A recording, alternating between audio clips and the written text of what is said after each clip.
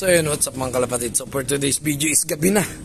Ayan o, 6, magsi 6.30. May ibon na lumanding dun mga idol. Ayun o, may naliligaw na ibon. Ayun o, kanino kaya to? Grabe. Ayun o, night bird. So pawala tayo kahit dalawa lang. Try natin kung mapapasama natin kasi kawawa. Ano kawawa ibon na to? Subukan natin at para sa ganun, may recover natin at mapawalan. So kukuha muna ako ng flyer. Okay, tara. So ayun mga idol, nagkaroon ako ng dalawa. Ayan lang, makikita nyo. So ayan, no? Grabe. Ay, ayaw yata yung sumama. Ay, naglilinis ako ng loof mga idol. Ayan, no? Ayan, nakatanggal itong mata. Ayan, no? Naglilinis ako, wala yung mga ibon dyan, no? Naglilinis ako kahit gabi. Yan, ganyan tayong mag-loof man, ano? Kahit gabi. Ayun, no? Ayaw niya sumama mga idol. Laki tayo. Let's go! Ngayon, rumoronda pa yung dalawa natin. Night bird. Ayan o. Gusto na. Ayun o. May dala natin o. Tiba yan o. Kahit gabi, rumoronda. Mag, mapapadilim na mga idol. Ayan o. 6.29. Ayun yung ibon o. Nino kaya yan? Ayun o. Ayun, dinadaan-daanan lang nun sa atin. Ayaw sumama.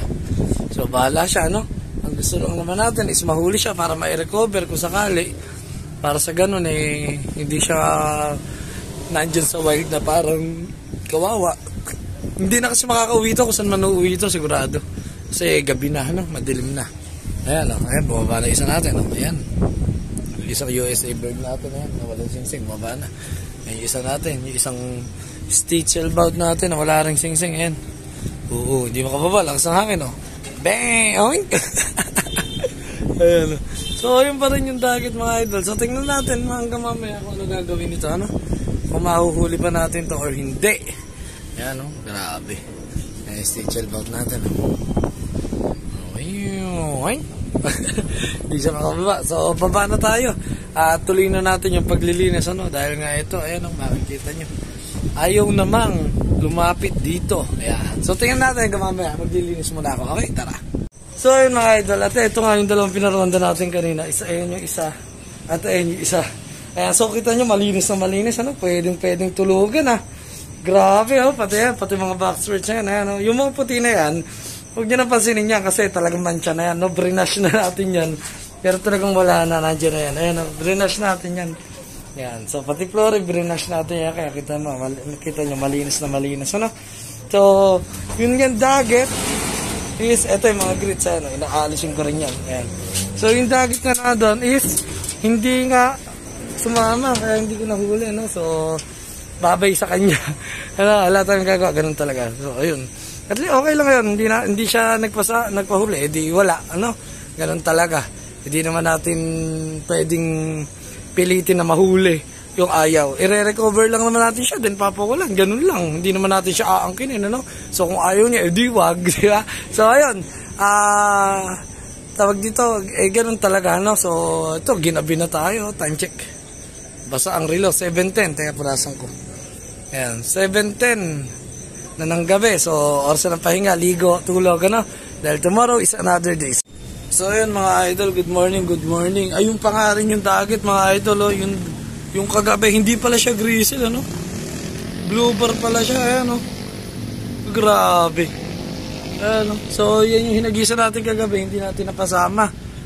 Dahil nga, ano, tag dito, uh, ewan ko, siguro madilim na. Ano, ayan siya, oh. Grabe, ano ba, gutom ka na, kagabi ka pa dyan. Ayan, so nagparuting tayo ng mga ibon natin at nawawala. Wala sila. Ayan, makikita nyo, napakalinis ang kalangitan. Ayan, wala kayong makikita ang ibon. Ayan, oh.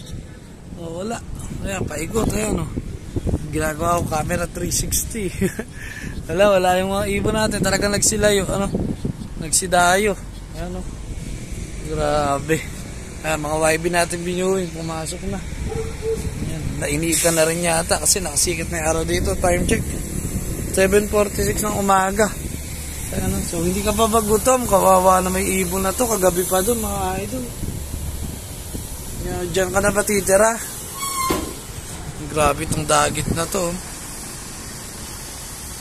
Diyan pala tumitira to. Gandang ibon pa naman ito kagabi nung nakita ko na bumaba dyan. Eh ngayon medyo haggard na siya oh, kasi kagabi pa siya dyan eh. Awa-awa, ano, hindi natin ma, ano, mapababa. Ayaw bumaba dito, at least mapapakain natin siya, mare-recover. Mukhang wala na siyang lakas lumipad para umuwi sa amo niya. Mukhang hindi niya na kaya. So wala tayong magagawa. Eh, ganun talaga, ano? At sana na lang, eh, ano, kung hindi man siya mahuhuli dito, eh, makauwi sana siya sa tunay na may-ari sa kanya. Kasi nga, eh, sayang, ano? Dahil nga na kawawa lang yung ibon pag ganyang nasa wild. Tapos ang kakain yan dyan, saan iinom yan? Wala. Diba? So, sana, sana talaga, eh, kung hindi man natin mapababa, eh, makauwi siya sa tunay na may-ari sa kanya, no? So, tingnan natin mamaya, hanggang mamaya, alamay natin kung makaka uwi ba to, kung aalis ba to, o mahuhuli natin, ano? Tingnan natin, okay? Tara. So, ayun mga idol, ala na yung ibon doon, no? Ayun, no? Makikita nyo, umalis na. So, siya yata yung kahapong dumapo sa loop na may sensor, ano? Yung nabulabog sa atin. Akala ko ibon natin, pinakaonda ko pa. Ayun, nabulabog. Umalis. So, sayang, imbis na mare-recover natin. So, magkapakain na ako ng mga pla- eh, mga stock natin. Ayan. So, plain lang sila ngayon. Ayan. So, breeder mix. Ayan. So, ayan, grabe, ganda na panahon niya dito mga idol. Ayan ang makikita niyo. Ano? Talagang napakatindi na sikat ng araw, ano? At sobra, sobra init talaga. Ayan, oh. masakit sa mata. Ayan, wala na yung dagit, mga idol. Ayan, oh. nakikita nyo, no? So, nasa na kaya yun? Ano, eh, okay lang yun. Hindi man siguro talaga sila para sa atin, ano? Kaya ganun ang nangyari. Okay? So, tingnan natin, eh, baka dyan-dyan lang yan sa paligid. Tingnan-tingnan natin, eh, sa mga bubong-bubong, ayan. So, wala naman. Eh, titingnan natin. Baka mamaya, eh, pinagtataguan tayo. Baka bumaba dun eh. Di ba? Eh, may orang may pasimano. Baka bumabang ganun dun, ano? So, wala, wala na. Okay? So, tingnan natin mamaya. Baka sakali, bumalik. Para ma, kung mahuhuli man natin, eh, may recover natin dahil sayang naman. Okay? So, ayun, good morning mga idol. Ayan, so wala pa rin yung dagit, di pa rin bumalik. So, kaya ano natin sila, kaya ano natin siya, ayaw niyang ma-recover, ayaw niyang, ayaw niyang maalagaan ng maayos. Kasi kung mahuhuli natin yun, i-recover lang naman natin yun, then papawala natin, ano. Hindi naman natin aariin yun na sa atin dahil di naman siya sa atin, di ba? So, gets nyo ba yung point ko? Gusto ko lang talaga nagre-rescue ng mga dagit, yung mga nahirapan na, hindi na makalipad na maayos, tapos re-recover natin, then papawala natin. Feeling ko ba, eh, nakakaswerte. Kasi natutulungan natin yung ibon, ano? Yun lang naman, hindi ko intention na angkinin yung dagit kaya ako huhulihin, hindi ganon. Kaya ako inuhuli yung dagit is para matulungan siya makarecover, then makauwi sa tunay na may-ari. Yun yung ating layunin, hindi para angkinin yung dagit. So, ayun.